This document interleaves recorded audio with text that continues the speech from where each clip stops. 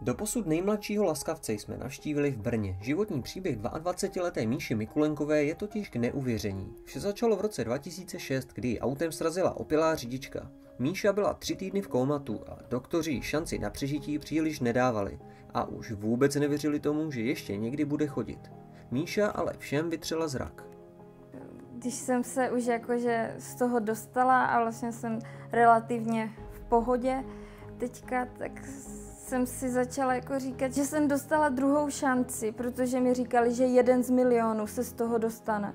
Míša je výjimečná v tom, že to opravdu nezůstalo u toho, že by se nějak litovala, zahořkla a vůči tomu okolnímu světu chovala nějakou jako nenávist. Naopak to nakoplo a úplně se otočila a začala být taková, že bude pomáhat. V rámci maturitního projektu proto uskutečnila akci s názvem Životní příběhy známých i neznámých, na kterou pozvala lidi s handicapem, aby se podělili o své nelehké osudy. Cílem toho by mělo být, že vlastně lidi s handicapem nebudou tak odstrkovaní.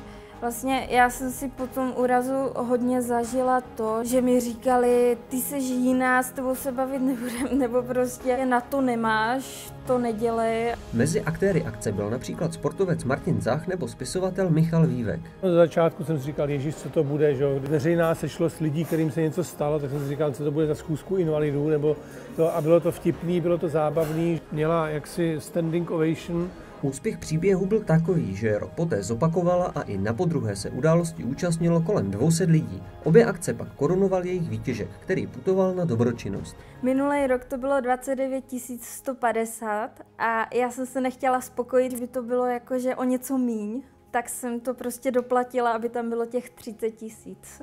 Zmíněných 29 tisíc Míša darovala dětské nemocnici v Brně, kde jí zachránili život. Mimo to zde malým pacientům zprostředkovala hračky i sbírku plišáků. 30 tisíci z druhého ročníku obdarovala spolek Martina Zacha.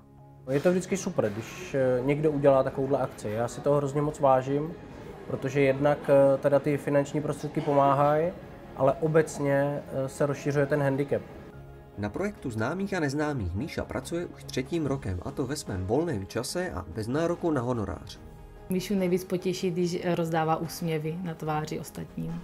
O životě po úrazu a o pomoci lidem s handicapem Míša vykládala i na základní škole v Luhačovicích a rozhodně ne naposledy.